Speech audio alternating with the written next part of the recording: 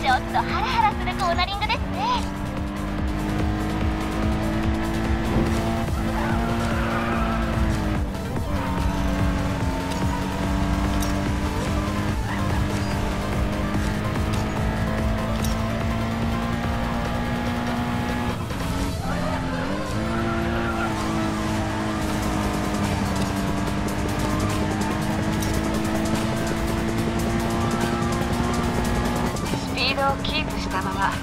ガイドラインに沿ってしっかりコーナリングよ。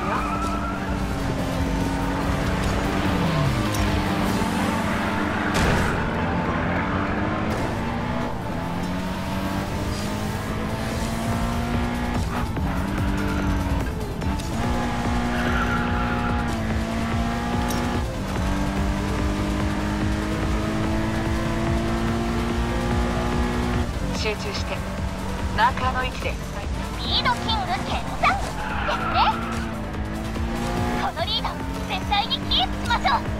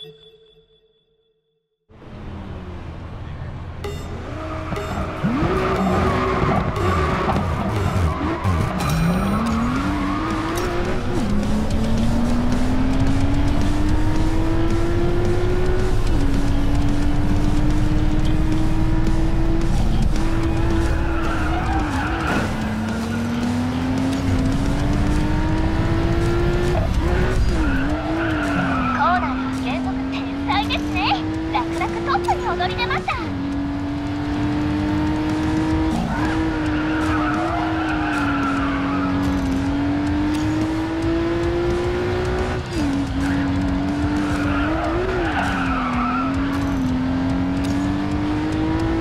ガイドラインに集中してしっかりコーナリングするのよ。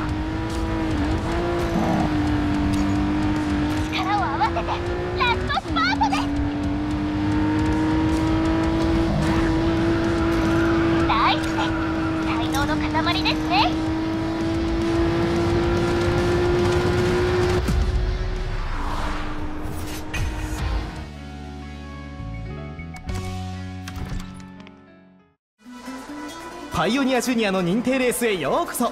注目は伝説のチームパイオニアのジュニアメンバーたちです。今シーズンはその名を轟かせたダークホースがいるみたいです。上位3枠に入り認定レーサーになるのは果たして？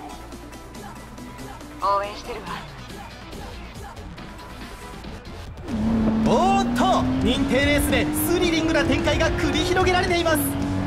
2人のレーサーが至近距離で互いに一歩も譲らず衝突寸前ですアクセルを緩めて。ニックとは安全な距離を保ちなさい。でも。気持ちはわかるわ。だけど焦りは禁物よ。チャンスはまだあるわ。素晴らしいオーバーテイクだわ。3位まであと少しよ。少しずつ加速して。あなたならきっとできるわ。3位では物足りないわ。私は確実に認定レーサーになりたい。さあもうひと踏ん張りよ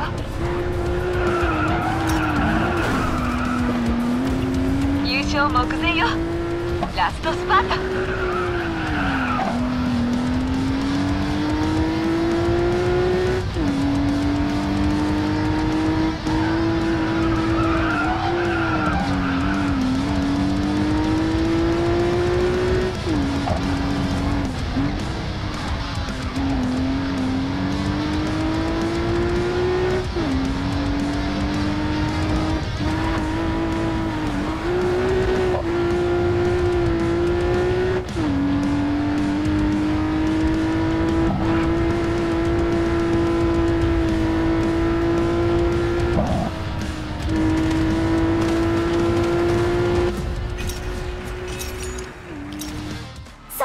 レーサーに祝福を今後はパイオニアジュニアのプロレーサーとしてキャリアを歩み始めます。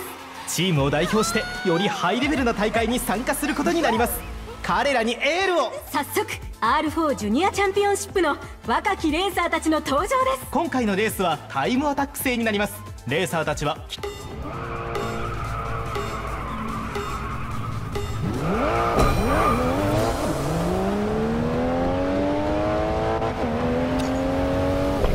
ごいですチームドラゴンのコウカキ選手を追い越しましたね彼女は今回のレースの優勝候補だったんですよ。これでトップニュースは待ったなしですね。はあびっくりした。間に合わないかと思いましたよ。全メディアがあなたに注目してるわ。頑張って。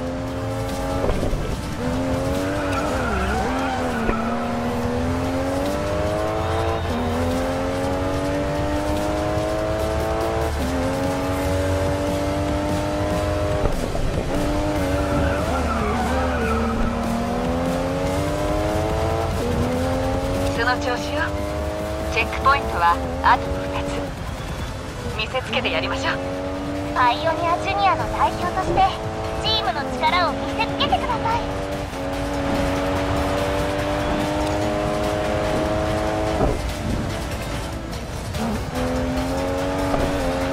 今年のシードレーサーたちは全員規定タイムをクリアしました首位にいるのは李陽選手。終始圧倒的リードです。さすが新世代を代表するレーサーですね。そしてそのすぐ後ろにいるのは？正直すぐ後ろではありませんね。李陽選手との差はかなり開いています。マイカ選手を先頭とする第2集団と李陽選手の間には実に半周の差があります。そうですね。それでは第2集団の様子を見てみましょう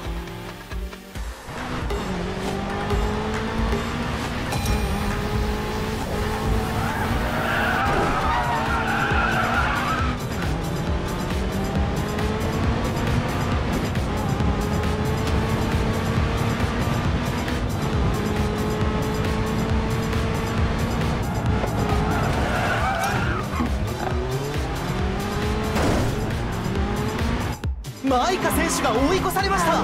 一体何が起きたのでしょうか？加速したマイカ選手が前方の車両と衝突しました。後方の車両も距離がかなり近い。多重クラッシュを引き起こしそうです。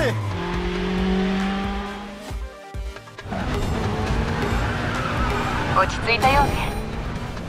それでいいわ。前方でクラッシュがあったわ。左側を走って通り抜ける。の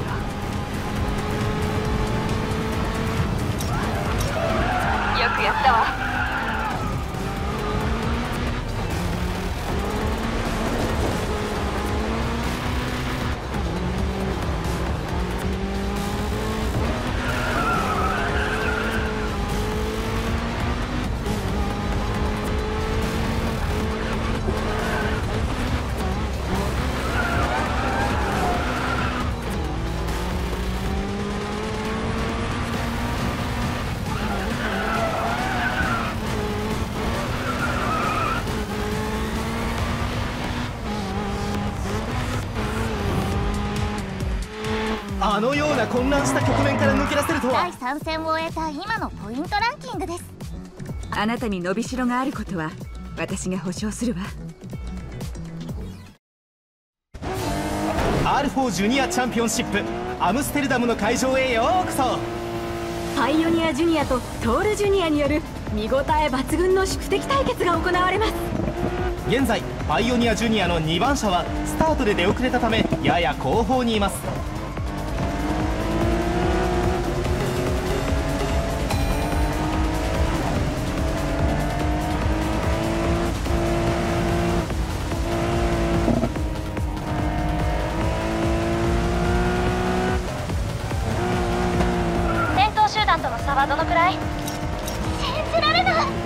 マイカを追い越しましたね。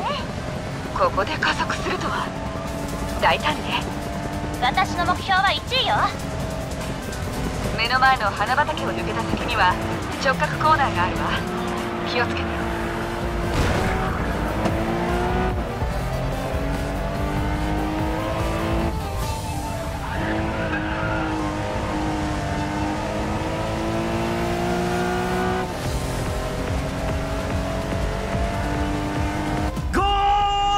パイオニアジュニアは。まさかあのマイカを追い越すなんて。確かに早かったわ。